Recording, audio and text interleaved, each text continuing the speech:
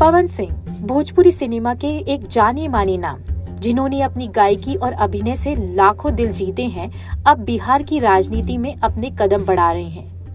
आइए जानते हैं पवन सिंह के जीवन और करियर के बारे में। पवन सिंह का जन्म बिहार के आरा ज़िले में हुआ था।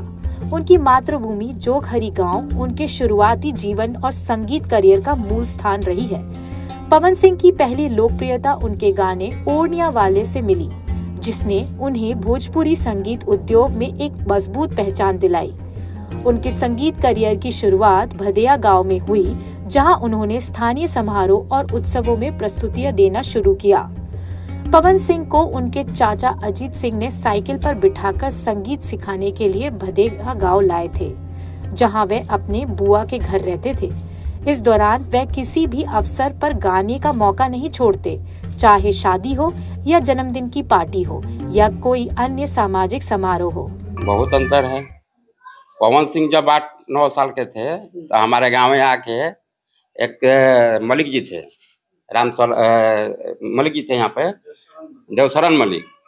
उनके यहाँ के सीखते थे और उनके अजीत चचा जो लोग साइकिल से बैठा के लाते थे गाँव से। गाँव से माने धूप में बरसात में यहीं से वो सीखे बेचारे।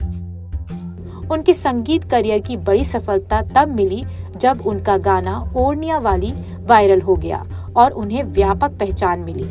इस सफलता ने पवन सिंह को भोजपुरी सिनेमा में एक स्थापित नाम बना दिया। उनमें आगे बढ़ने का क्षमता आपको दिखता था? हाँ हाँ हाँ। कला था एक तो उनका उड़हनिया वाला गाना आया था। समझे? तो वो स्टूडियो में रिकॉर्डिंग हुआ था। स्टूडियो में तो चला नहीं मगर जो एक तो एसपी का विदाई था गढ़वा में उसमें स्टेज प्रोग्राम में उनका वो जो रिकॉर्डिंग वाला था जो माइक वाला साउंड वाला वही रिकॉर्डिंग किया ना इसके बाद वो प्रचार चला तो हर एक जगह उस समय कमांडर था। कमांडर में ट्रैक्टर में सब जगह चलने लगा। उसी समय से वो हिट किए। हम्म। पहला हिट ओढ़निया वही हाँ वाली। उसमें कुछ पैसा वैसा उनको मिलता था? ना इतना नहीं मिलता।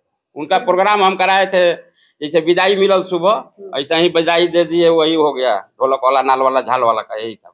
बोले कोई कोई बना हाँ। विदाई में क्या कितना रुपया मिलता था? जो खुशी से दे दिए। पाँच सौ हज़ार दो हज़ार जब आज जैसे छूट मिला वो उनका हुआ।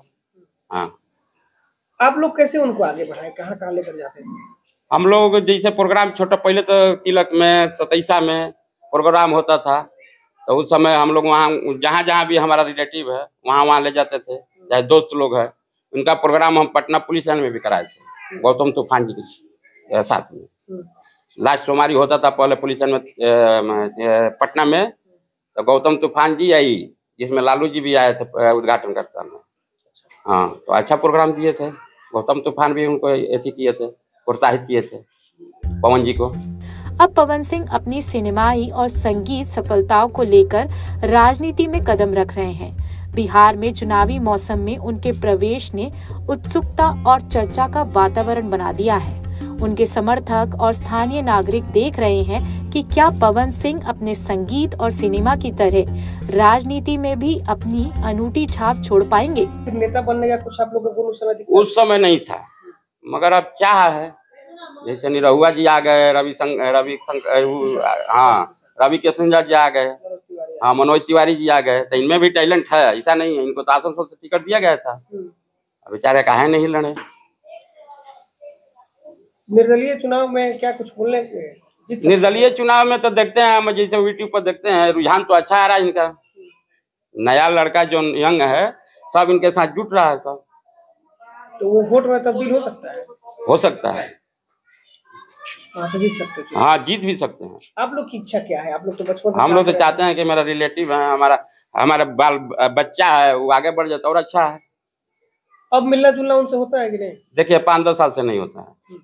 पहले तो हम लोग पहले तो हम लोग को कुछ हुआ हमारे बाबूजी के साथ में क्रिया हुआ था उसमें बेचारे सुबह में आया श्रद्धांजलि दिए यहीं पे।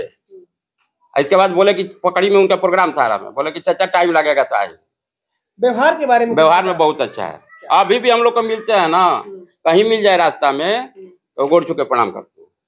घमंड घमंड नहीं है। घमंड नहीं है।